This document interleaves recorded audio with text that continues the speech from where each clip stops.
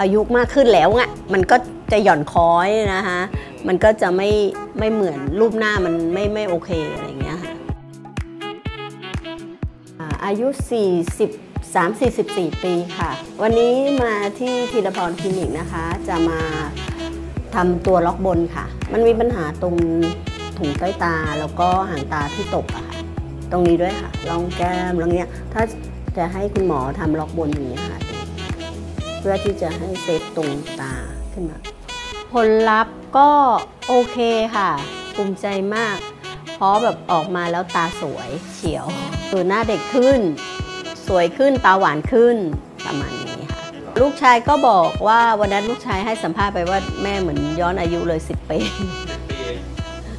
เราดึงหน้าเสร็จแล้วเราก็ขับรถกลับบ้านได้นะคะ แล้วก็เช้ามาเราก็ใช้ชีวิตได้ปกติไปทำงานได้ ทานข้าวได้ไปช้อปปิ้งได้ปกติค่ะ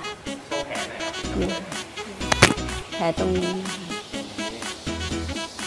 นี่ค่ะแผลก็พอใจค่ะ เริ่มดีขึ้นเรื่อยๆ แล้วก็ทายาค่ะ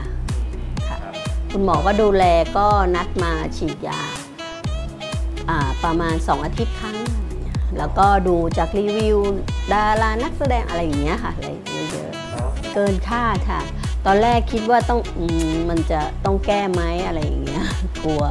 กลัวต้องต้องทำสองรอบสามรอบอะไรเงี้ยแต่พอทำออกมาแล้วเป็นไงครับทำออกมาแล้วโอเคเลยค่ะ พอใจมากพอใจมากกลัวเสียป้าเลย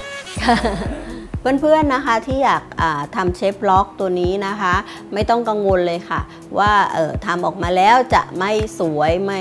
ไม่อะไรหรือว่ากังวลใจกลัวทำออกมาแล้ว จะเหมือนเราตอนแรกๆที่จะแก้